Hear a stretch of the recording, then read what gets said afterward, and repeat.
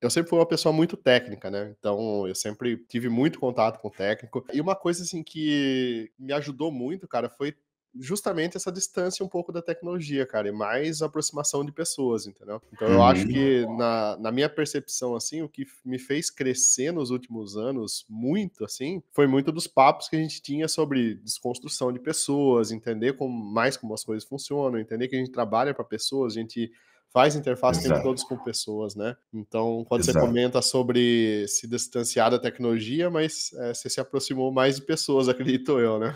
Nós que somos profissionais de tecnologia, a gente se prepara, aqueles que fizeram faculdade, aqueles que não fizeram, mas que fizeram certificações, que aprenderam de forma autodidata ou com algum curso particular aí, a gente se prepara para ser desenvolvedor, que como foi o meu background também, né, começando desenvolvendo software, tendo a paixão por desenvolver, gostando daquilo ali. Ou então, hoje tem uma diversidade muito grande, o pessoal que já se especializa em ciência de dados, né, ou engenharia de dados, o pessoal já focado mais em inteligência artificial, ou a galera que curte mais desenvolvimento para games aí, então Unity e outras tecnologias, a galera de cibersegurança, enfim, tem um mundo de opções, isso é legal de ver. Mas eu digo que a carreira de profissional de tecnologia, a gente se prepara para ser técnico, né? Para ter o ganha-pão. Eu lembro que, assim, na minha primeira movimentação lá atrás, quando eu tive a oportunidade de ter uma movimentação na minha carreira para deixar de botar a mão na massa como desenvolvedor e trabalhar como coordenação de uma equipe e onde eu não ia botar a mão na massa, assusta, porque, assim, o nosso porto seguro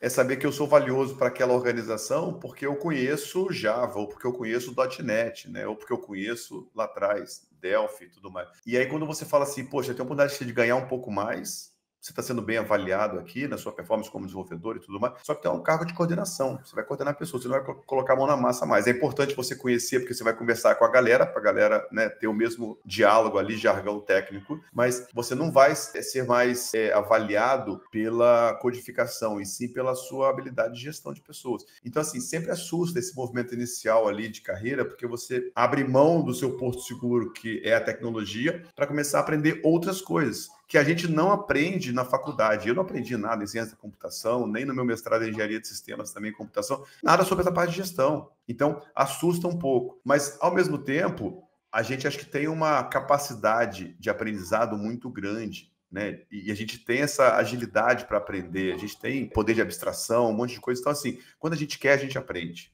quando está motivado para aprender. Então, até liderar pessoas, gerir pessoas, então a gente estuda, lê também, a gente gosta de ler, isso é importante. É, na média né, do, do brasileiro, especialmente aqui, a gente está lendo cada vez menos. Então, assim, é importante trabalhar esse lado, porque como você mesmo falou na introdução, a gente trabalha com gente.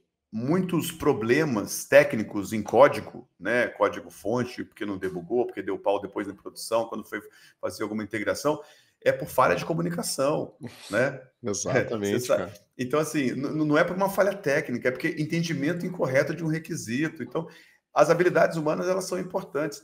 E sabendo que como o ser humano é complexo, ainda mais num mundo corporativa, quando se envolve alguma questão comercial de trabalho, você tem relação que é por interesse também. Você está numa posição alta, vem gente se aproximando ali para poder te bajular, puxar saco uhum. tudo mais. Então, assim, e ao mesmo tempo a gente consegue, com o passar do tempo, separar né, o joio do trigo. Como você falou, uhum. demorou um pouco para aproximar, mas depois aproximou e o verdadeiro está aqui até hoje. O importante é entender que a gente, como ser humano, a gente precisa de outros seres humanos porque a gente tem uma natureza basicamente coletiva. A gente tem a vocação para o coletivo, então a gente precisa andar em comunidade, né? Isso nos fortalece, não nos enfraquece. Essas relações interpessoais, essas habilidades, né? De como... Você não precisa ser extrovertido para conectar com pessoas. Não, Perfeito, não cara. Tem isso, né? Sensacional. É todo mundo, cara, é uma coisa que todo mundo, todo mundo fala, é unânime assim, falar, ah, mas eu sou muito retraído. Eu falo assim, não, mas não tem a ver com, com ser retraído ou ser extrovertido, entendeu? Tem a ver com a questão da, do, do ponto certo, da hora certa, da palavra certa, né?